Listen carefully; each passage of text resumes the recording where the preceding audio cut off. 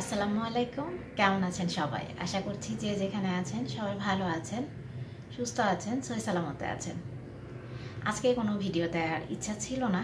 সত্যি কথা বলতে আজকে আমার মনটা অনেক খারাপ।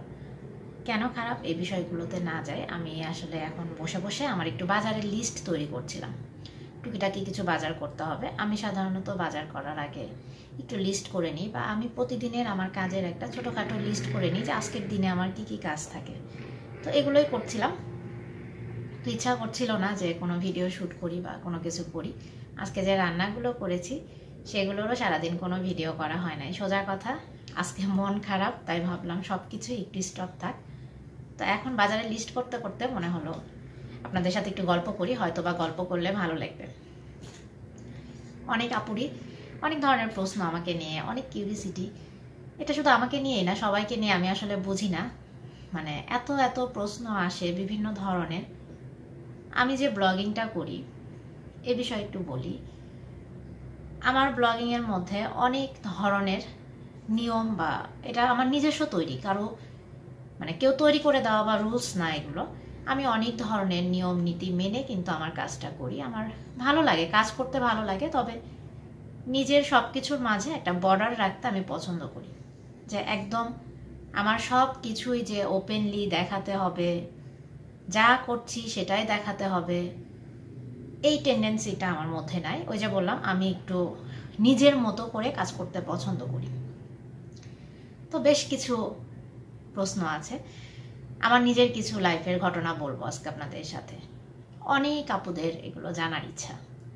অনেক দিনের অনেক জমানো প্রশ্ন, শুধু এখন না, যখন থেকে কাজ শুরু করেছি তখন থেকেই। তো এখন যেহেতু আমার শ্বশুর শাশুড়ি আমার কাছে আছেন, তো এখন মনে হয় কিউরিসিটিগুলো আরও বেশি আরও জানার আগ্রহটা বেশি সবার। তো আমি আমার আজকে টাইটেলেও দেখেছেন, এর আগেও বলেছি, আমার এই ফার্স্ট টাইম আমার শ্বশুর শাশুড়ির সাথে কিন্তু এত দিন থাকা অলমোস্ট চার মাস। এর আগে কখনোই থাকি নাই। হয়তো অবাক হয়ে যাচ্ছেন এত দিনের মানে বিবাহিত জীবন আমাদের, এই ফার্স্ট টাইম কেন বলছি? আমাদের বিয়ে হয়েছে দুই হাজার চোদ্দ সালের অক্টোবর মাসে আমাদের বিয়ে হয়েছে। তো বিয়ের পরেই আপনাদের ভাইয়া যেহেতু ঢাকায় থাকতো, আর আমাদের কিন্তু মানে বিয়েটা আগে হয়েছে, রিসিপশনটা পরে হয়েছে। আমার আপু এবং আপনাদের ভাইয়ার বড় ভাই, একটাই তো ভাই তার, যেহেতু দেশের বাইরে থাকতেন, তাদের সাথে টাইমটা মিলানোর জন্য আমাদের বিয়েটা হয়ে যায়। বিয়ে পড়ায় রাখা হয়, আর রিসেপশনের ডেটটা তাদের সাথে শিডিউল মিলে করা হয়। তারপরেও মানে ভাইয়ার সাথে টাইমটা মিলেছিল বাট মানে দুর্ভাগ্যবশত আমার আপুর সাথে টাইমটা মিলানো সম্ভব হয় নাই। যারা আমরা বাইরে থাকি তারা এটা জানি যে ভিসা রিনিউয়ের জন্য পাসপোর্টটা জমা দিতে হয়। তো ওই ডেটটা ওইভাবেই পড়ে গিয়েছিল। আপুর পাসপোর্টটা আর কি জমা পড়ে গিয়েছিল এই কারণে আপু যেতে পারে নাই। সোজা কথা রেজেক্ট ছিল না, এ কারণেই তার যাওয়া হয় নাই। তা আমি কিন্তু মানে কাজ করছি আর কথা বলছি, মাঝে মাঝে লিখছি, যখন যেটা কথা বলতে বলতে মাথায় আসছে, সেটা লিখছি আমি। তো ওই সময়ে আমাদের মানে বিয়ে পড়ানোর পরে আপনাদের ভাইয়া আর কি দু একদিন পরে ঢাকায় চলে আসে। আমি কিছুদিন আম্মুর ওখানে থাকি, তারপরে আমিও ঢাকায় যাতায়াত করতাম। বাট শ্বশুর বাড়িতে থাকা হয় নাই, যেহেতু উঠায় নেওয়া হয় নাই আমাকে, সেহেতু কিন্তু শ্বশুর বাড়িতে থাকা হয় নাই। তারপরে আর কি ভাইয়ারা আসে, আমাদের রিসিপশন হয়। আমাদের রিসিপশন হয় জানুয়ারির শেষে। তো রিসিপশনের পরে কিছুদিন ছিলাম। পনেরো বিশ দিনের মতো আমি আমার শ্বশুর বাড়িতে ছিলাম। তারপরে আর কি, যেহেতু ওর চাকরি সূত্রে ঢাকাতেই থাকে এবং সবাই চাচ্ছিল যে হ্যাঁ বিয়ের পরে একসাথেই তোমরা থাকো। এটা আমার শ্বশুর বাড়িতে শুরু থেকে ইয়ে যে, ছেলে যেখানে থাকবে তুমিও সেখানেই থাকবা। তো সেই ইয়াতে আমিও ঢাকাই তার সাথেই থাকা। ঈদে যাওয়া হতো, ছুটি চাটাতে যাওয়া হতো, এমনিও যাওয়া হতো। আর গেলেও সেটা দেখা যেত এক সপ্তাহ বা বিশ দিন, পনেরো দিন, এরকম একটা টাইম থাকতো। আর রুফায়দা হয়ে যাওয়ার পরে যেটা সবচেয়ে বেশি রুফায়দা ওর বাবাকে ছাড়া কিছুই বোঝে না। সে মানে কি বলব আমি? ওর ক্ষেত্রে আসলে মানে যারা না দেখবে এটা বিশ্বাস করবে না। তো এই জন্য ওই সময়টাও কখনো আমার ওইভাবে তাদের সাথে থাকা হয় নাই। তারপরে দেখা গেল যে আপনাদের ভাইয়া চলে আসলো। ওই সময়টা একটা সুযোগ ছিল। চলে আসার পরপরই আর কি আমাকে ঢাকায় থাকতে হয়েছে আরও এক মাস। কারণ আপনাদের ভাইয়া কিছুই করে আসতে পারে নাই। সে হুমজিক্যালি তার ট্রান্সফার হয়ে যায়। সে চলে আসে মালয়েশিয়ায়। আমি ওখানে একা একা আমাকে সব কিছু করতে হয়েছে। বাসার জিনিসপত্র সেল করতে হয়েছে, বাসা ছাড়তে হয়েছে। মানে এভরিথিং আমাদের কাগজপত্র আমাকে রেডি করতে হয়েছে। তো এই সব কিছু করতে করতেই আমার আম্মু ওই সময় আমার সাথে ঢাকায় ছিল। মারা আসা যাওয়া করতেন। তো এই সব কিছু মিলিয়ে এক মাস আর কি আমি ভাবলাম রুফায়দা উঠছে, ও ঘুমাচ্ছে।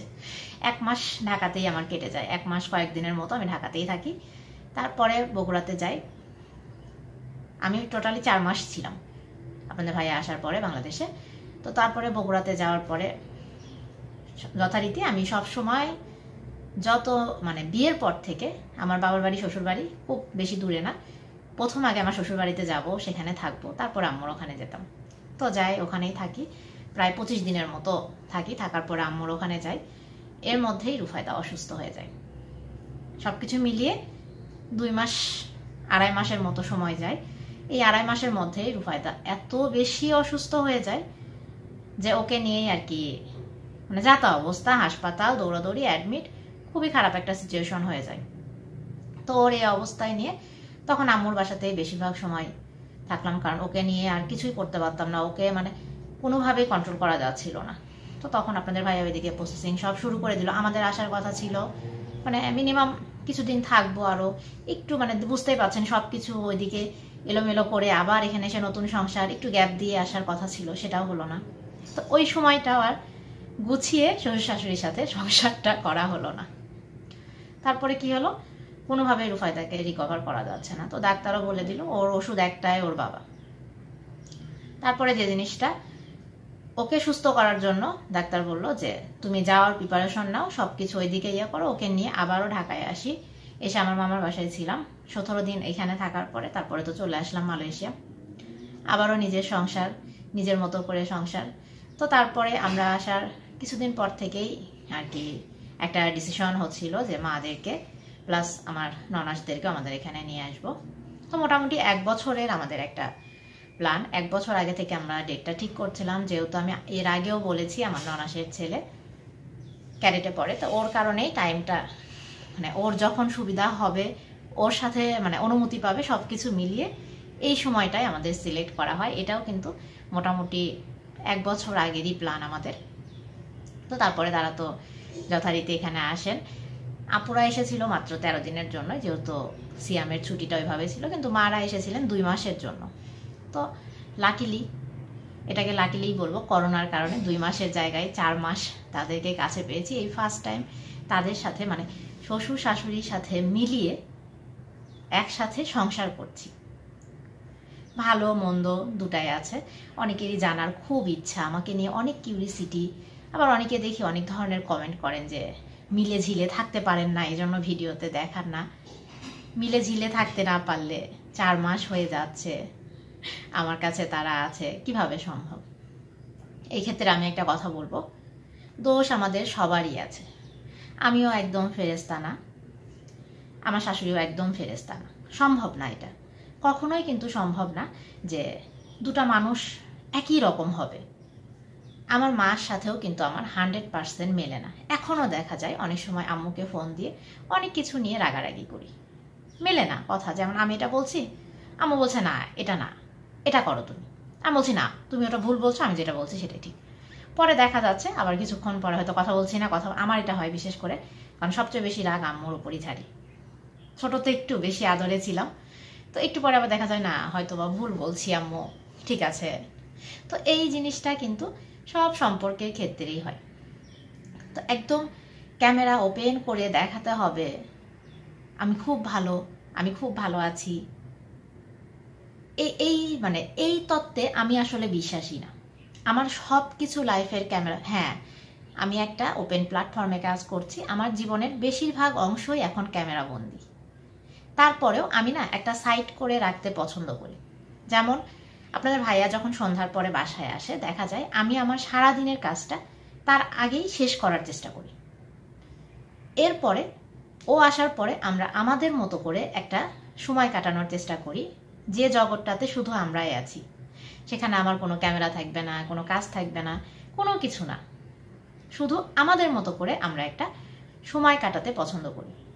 তো এই কারণে আমার শুরুতেও একটা কথা বলেছি, আমার লাইফটা অনেক রেস্ট্রিক্টেড যেটা আমার নিজের কারণে। আমি চেষ্টা করি যে যতটুকু দেখানো সম্ভব, যতটুকু সুন্দর, ততটুকুই দেখাই। এর বেশি কোনো কিউরিসিটি বা কোনো কিছুই আসলে কারও সম্পর্কেই থাকাটা ঠিক না, এটা আমার ক্ষেত্রে মনে হয়। কারণ প্রতিটা রিলেশন ভালো রাখার জন্য সর্বপ্রথম যেটা করতে হয়, নিজেকে ভালো হতে হয়। আর আমি যেটা মনে করি, আমি আলহামদুলিল্লাহ অনেক ভালো। কারণ আমার মধ্যে বেশ কিছু, আমি নিজেই এটা স্বীকার করছি কিন্তু। আমার মধ্যে বেশ কিছু দোষ আছে এবং বেশ কিছু গুণ আছে। যে গুণগুলোর কারণে আমার সাথে কেউ মানে চার মাস কেন, চার বছর কেন, চল্লিশ বছর থাকলেও তার কিচ্ছু হবে না। কারণ আমি প্রতিটা রিলেশনকেই রেসপেক্ট করার চেষ্টা করি। যে যার জায়গা থেকে যতটুকু তাকে সম্মান দেয়, এটা আমি চেষ্টা করি। তো এই কারণেই এতগুলো দিন একসাথে থাকার ফলেও হ্যাঁ অনেক সময় মন খারাপ হচ্ছে, এটা হচ্ছে, ওটা হচ্ছে।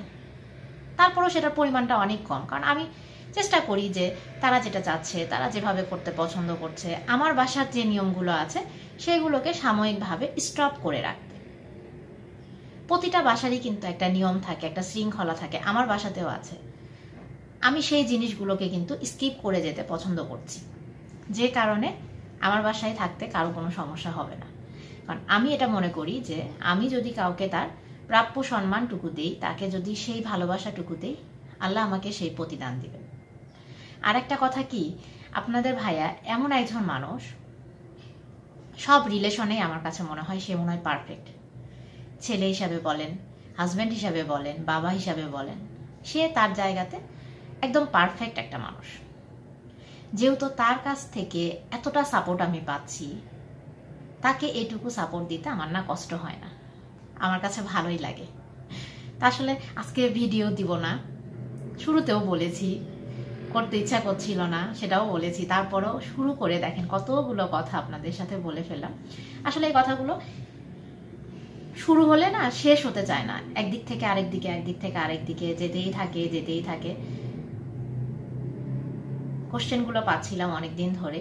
একবার ভাবছিলাম এগুলো নিয়ে কথা বলার দরকার নেই, আবার মনে হলো যে না, বলা উচিত। আবার অনেক নতুন নতুন আপুদেরকে সংসার লাইফে দেখি, অনেক ধরনের ক্রাইসিস নিয়ে ফেসবুকে পোস্ট দিতে, বিভিন্ন ধরনের কথা বলতে।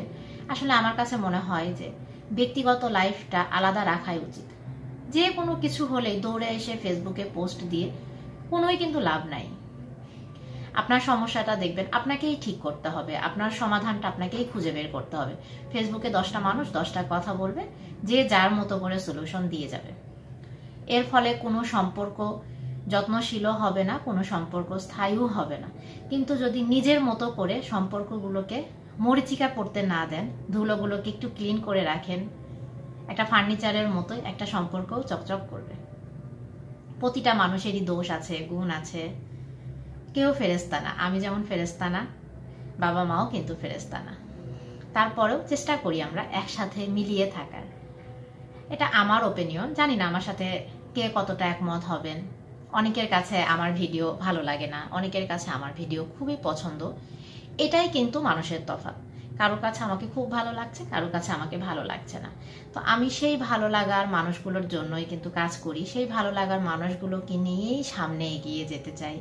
জানি না কতদূর পারব। আমি আমার জায়গা থেকে সর্বোচ্চ চেষ্টাটা করি। সর্বোচ্চটা আপনাদেরকে দেয়ার। ইদানিং মানে একটা জিনিস খুব ফিল করি। আসলে এই ব্লগিং জগতে না আসলে ফ্যামিলি থেকে যে এত দূরে, কাছের মানুষগুলো থেকে এত দূরে মন খুলে কথা বলার একটা প্ল্যাটফর্ম পেয়েছি, যেটা হয়তো বা পেতাম না কখনোই। আপনাদের জন্য এই প্ল্যাটফর্মটা তৈরি হয়েছে আমার। এই জায়গাটা পেয়েছি। আশা করছি, আমি বোঝাতে পেরেছি যে আমি কেন কখনো বাবা মার সাথে মানে আমার শ্বশুর শাশুড়ির সাথে একসাথে আমার সংসার করাটা হয় নাই। থাকি নাই। থাকি নাই বললে ভুল হবে, থাকতে পারি নাই। তো আল্লাহ রহমতে সেই সুযোগটা পেয়েছি। আমি চেষ্টা করছি যে সেই সুযোগটাকে সম্পূর্ণভাবে কাজে লাগাতে। আমি আমার জায়গা থেকে চেষ্টা করে যাচ্ছি। জানি না আমি কতটুকু সফল। কোনো মানুষই কারও মতো হান্ড্রেড পারসেন্ট করে দিতে পারবে না বা হতে পারবে না। আমি শুধু আমার চেষ্টাটুকু করে যেতে পারি। আর কথা না বলি, যাওয়ার আগে জাস্ট শুধু একটু দেখায় যে আজকে কি কি রান্না করেছিলাম। আজকে আর সেগুলো আপনাদের সাথে শেয়ার করতে পারি নাই। শুধু কি কি রান্না করেছিলাম সেটা একটু দেখায় সেটা দেখিয়েই আমি আমার আজকের ভিডিওটা শেষ করব। আলু দিয়ে গরুর মাংসের ঝোল রান্না করেছিলাম। নর্মালভাবে আমরা যেভাবে করি, সেভাবেই করেছিলাম। এর সাথে আরও টুকিটাকি রান্না করেছিলাম। সেটা হচ্ছে যে ডাল রান্না করেছিলাম। ডালটা আজকে করি নাই, গতকাল রাতে রান্না করে রেখেছিলাম। এর সাথে পাঙ্গাস মাছ ভুনো করেছিলাম। পাঙ্গাস মাছটা আমার মেয়ের খুবই পছন্দ। তার সাথে একটা ভেজিটেবল রান্না করেছিলাম। তো রান্না টান্না সব শেষ করে আমি কিন্তু আমার কিচেনটাকেও একদম ক্লিন করে নিয়েছি, সেটাও একটু দেখাই। আর এর সাথে বিদায়টাও নিয়ে নিই। সবাই ভালো থাকবেন, সুস্থ থাকবেন, আমাদের জন্য দোয়া করবেন। আজকের মতো এখানেই বিদায়। আল্লাহ হাফেজ।